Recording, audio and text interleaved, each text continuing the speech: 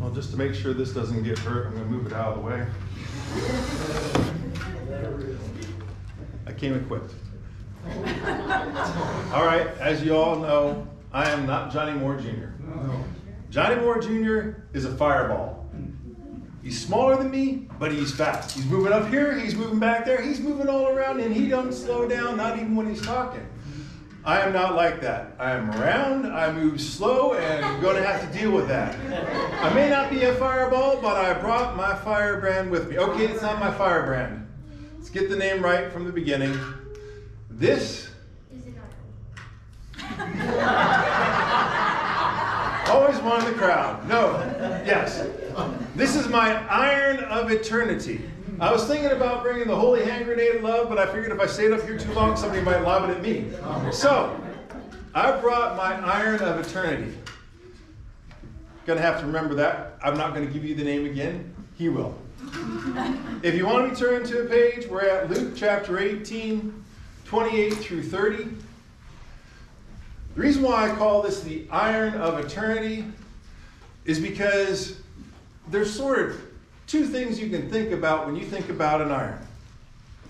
You think about it when it's used properly, the lines come out really nice and sharp. And I know if you were paying attention last night instead of snoozing, which you better not have been, you realize two men know how to use an iron, or their wives know how to use it, because they were sharp dressed. You could split a hair with how sharp they were looking. We're not talking about me.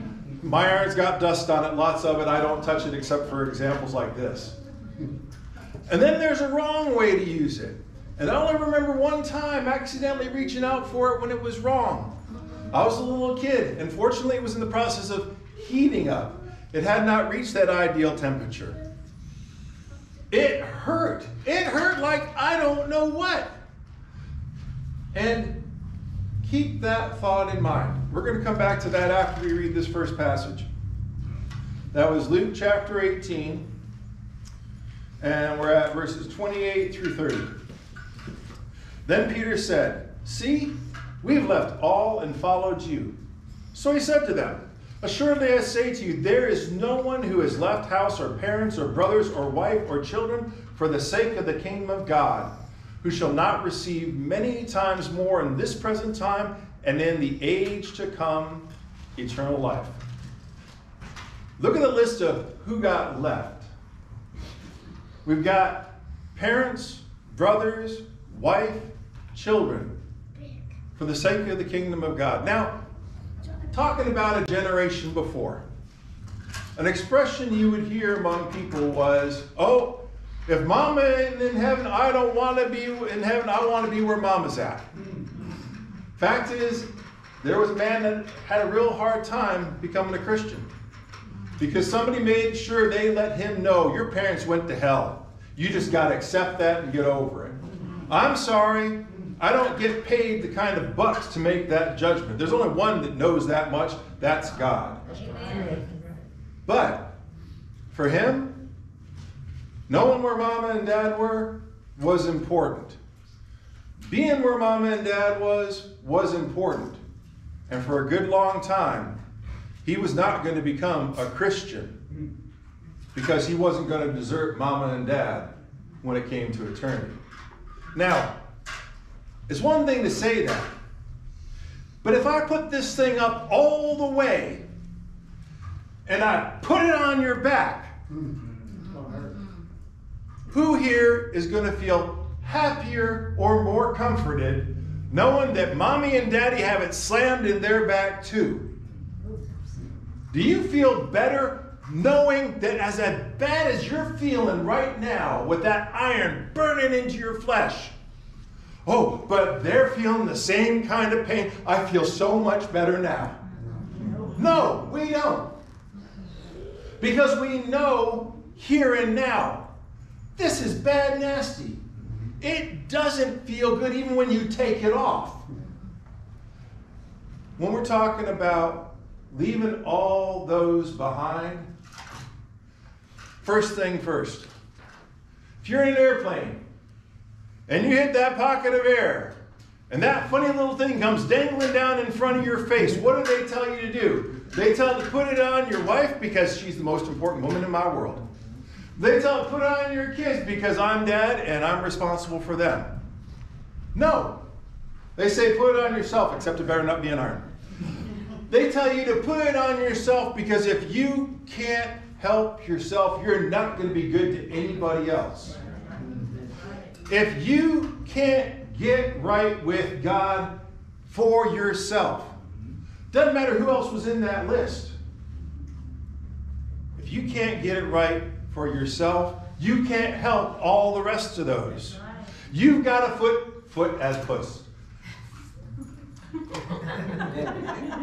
Put as first the priority of seeking God, seeking Him His way, no matter what else you're looking at. Amen. She might be the most beautiful woman in my life.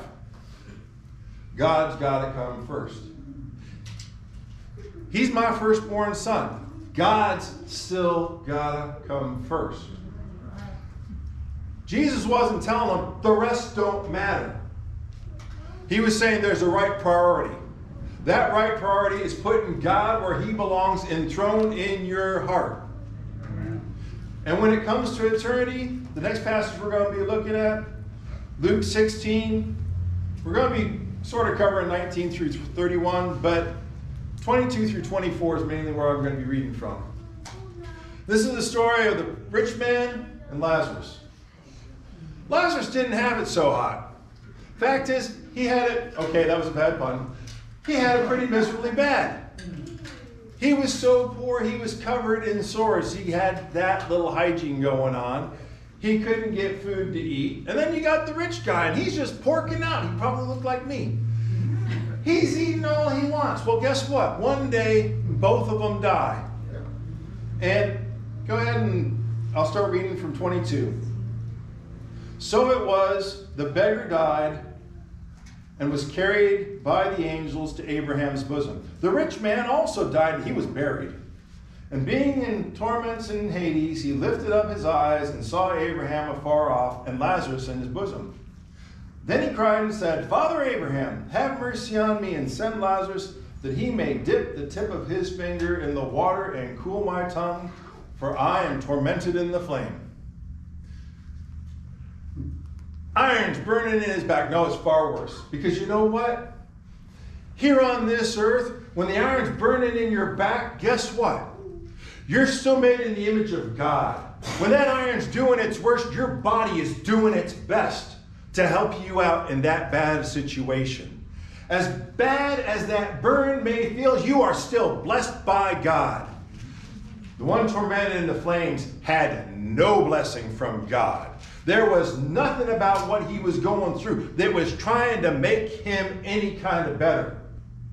We need to understand when we're talking about hell, we're talking about a real that goes beyond the nastiest you can come up with. And I say real because when you look at every single parable, every example that Jesus gave, you don't hear about the unicorns. You don't hear about the talking bunnies. You don't hear about anything made up. When he talks about planting seed in the ground, guess what? We plant seeds in the ground. And when there's stones there, they don't grow as well. They don't get the right kind of root they need to get put down into because if the ground is packed down, there's nothing you can squeeze down into. And if it's covered in weeds, it's going to choke it out because it's taking up the sunshine, it's taking up the nutrients, it's taking up everything it can and the plant doesn't grow. And that's real. And every example you look at when Jesus gives an example, the pearl of great price. Everybody knows about pearls, right? They're worth a lot of money, right? That's real. When he talks about when Lazarus and the rich man died, do you think he's doing something he's never done before? Or is he doing the same kind of thing he's been doing all along? Tell him like it is. If he's telling them like it is, being tormented in the flames, he was facing the worst there was. But here's the thing to remember. Remember that thing about being comforted and so forth? He's tormented in the flames. What doesn't he do? Never says, I'm sorry I messed up. Never says, I'm so thankful that mama's here with me. And he also says, Father Abraham, Mr. Authority figure that I didn't bother paying attention to in life. Because you were the man that sought God, and that's what I should have been doing, but I didn't. Father Abraham, that guy next to you, the one that used to be covered in sores, have him go dip his hand in the water and bring it on over here to me. Who here wants to volunteer to get their hand wet and then face the iron? Because that's what he's demanding almost. He's saying, send him. He was worthless in life. Go ahead and send him now. He won't matter anyways if he's suffering. That's not what's written there. That's what he acted like.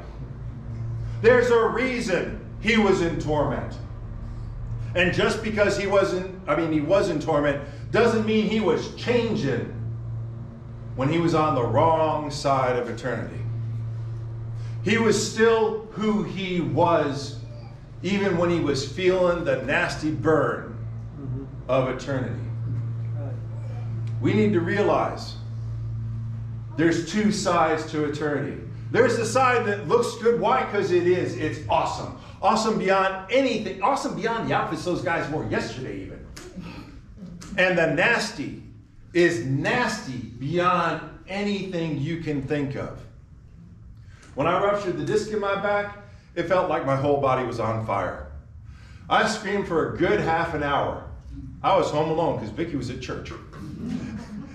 I screamed my head off. And if you want to commit murder, I can tell you the neighborhood to do it in because you, they'll scream all they want. Doesn't matter. You're going to die. Nobody's going to show up. There's a right side to eternity. There's a wrong side. And it's not some arbitrary thing made up. Because, like I said, you can see in the rich man's behavior, even when he's being tormented.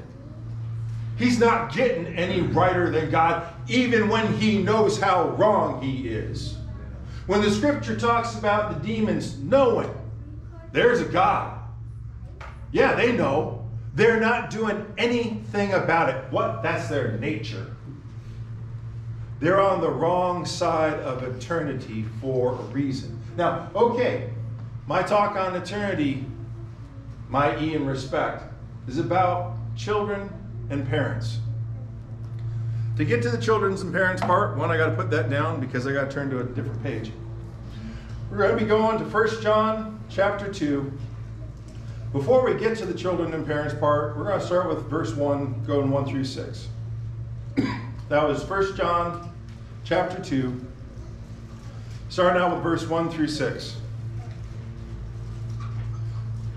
My little children, these things I write to you so that you may not sin. And if anyone sins, we have an advocate with the Father, Jesus Christ the righteous. And he himself is the propitiation for our sins, and not for ours only, but also for the whole world. Now, by this we know that we know him, if we keep his commandments. He who says, I know him, and does not keep his commandments is a liar, and the truth is not in him. But whoever keeps his word, truly, the love of God is perfected in him. By this we know that we are in him. He who says he abides in him ought himself to walk just as he walked. My little children, He's talking to adults, he's talking to a congregation. My children. He's the one that's leading and instructing. But he's pointing back first to the Father. We got the Father. We got the next step on down. He includes Jesus because Jesus is our brother. He's putting himself sort of at that level because he's communicating God's word to them. And then you got that children level. There's a responsibility chain there. Where is the authority? Where is the understanding? It's in the Father, it's in God. Down below that, you've got the one that is responsible for communicating, responsible for following through in such a way that the children understand, that they learn they grow, they apply. Keep that thought in mind because we're going to jump down to verse 12. 12 through 14. I write to you, little children, because your sins are forgiven. I'm sorry, are forgiven you for his name's sake. I write to you, fathers, because you have known him who is from the beginning. I write to you, young men, because you have overcome the wicked one. I write to you, little children, because you have known the Father. I've written to you, fathers, because you have known him who was from the beginning. I have written to you, young men, because you are strong and the word of God abides in you, and you have overcome the wicked one. We got the same kind of pattern going on. It's like a ring. Because where's the beginning of a circle? There isn't one. Where is the end of a circle? There isn't one. If the father instructs, the child needs to be listening. When the child listens, it isn't just so they can hear dad, it's because they're supposed to be learning. And in learning, they're supposed to be taking it to that next level. The young man doing, applying what they were taught. The things they were grounded in when they were little, now they're big enough to actually apply, and whoa, it works just like Dad said. And then, after having gone through that stage in life of being a young man, you move on into fatherhood. You got the responsibility of passing it on to that next generation. And if it keeps going and going and going, what's something that keeps going and going and going? It's going on for eternity. The pattern God gave, He gave with the understanding that you do it, you follow what I said. And by the way, I start out by saying, if you love me, you're going to do what? Obey my commandments. You follow this pattern, it doesn't break. Why? Because if you, as the father, act responsibly towards your children, raise them up in the fear and the admonition of the Lord there is a good chance, okay, I'm not going to say an absolute, because everybody has the right freedom of choice. But it's designed so applied properly, you're working on the good side of the odds. That child who learns from you, not just by what you say, by what they see you do. Because you know what happens when you tell them, you need to go to Sunday school. Well, Dad, you're still in bed. Mom's taking you. I'll be there later. What do you taught them? It doesn't really matter for me because I'm a big boy. And when you get to be a big boy, it don't need to matter to you. You need to go to that youth thing. Well, Dad, they need somebody to chaperone. Well, they can get somebody else. I'm busy. Dad, all you're doing is watching football. Hey, I'm dad. You don't smart off to me like that. I'm sorry. You just lied to him. The example we give needs to be consistent from beginning to end. We can't just go tell them, you do what is right, and show them a totally different life. We got to tell them, oh, you need to be doing. You need to show God's love by doing these kind of things. Well, what are you doing, Dad? You make me go to all these youth activities where we go paint somebody's house, where we go clean up their yard, where we go and we go and we, what have you ever done, Dad? You make it to church most of the time, but I've never seen you help anybody. I'm going to brag on my kids. I'm crazy. I will bend over backwards to help Okay, yes, he's laughing because he knows I've told you the truth. He'll tell me if I'm telling you something wrong. He'll tell it to me too. When I was bringing up my kids, like I said, I'm crazy. I will pack every single second of the day. I will be trying to do everything I can to show them God. Whether that be fixing food for somebody, and they'll tell you, when it comes to somebody having a baby, and there's three people in that house, we send them at least enough food for six and a half, seven, eight, nine people. And I've been asked before, why are you giving them that much dessert? Because if I was on the receiving end, I want that much dessert. when I give, I give the way I'd want to be receiving. But not just that. When I give, I'm giving an example. When my kids got old enough, every single one of my kids helped out here at Newberry on Thursday when it came to help feed the seniors. I didn't tell any of my kids, you know what you need to do? You need to go do that Thursday thing and help the seniors. They did that on their own initiative. No, they didn't. They did because that's what they had learned and been taught. Tyler will tell you, even when it came to story time, when I'd be walking them from our house all the way down to Publix, which was, I think, about a two mile walk, and then we'd get our zebra cakes and we'd get our whatever to drink, and then we'd swing it on down and walk it on back. They didn't want just the walk, they wanted the stories. So initially it was always Star Wars stories. And know what I did? I told them how Luke messed up. Because Luke didn't listen. He was told, you don't need to take that weapon into that cave. You're taking anger, you're taking hatred into that cave, and all you're going to reap from it is what you take with you. Luke failed because Luke was nurturing hatred in his heart. That's what I told him about Star Wars. All the way up to the time when I finally couldn't take that much more of Star Wars. In which case I started telling makeup stories. Chewbacca put on his eyeshadow. finally got out of my telling the Star Wars stories. But back on topic. I wasn't just telling them, you need to get right with God. I was doing best I could to show them every way I could how important God was to me. I included them in those activities because I wanted them to see what dad was doing. So they could look back and say, hey, that's the norm, because that's what dad showed me how to do.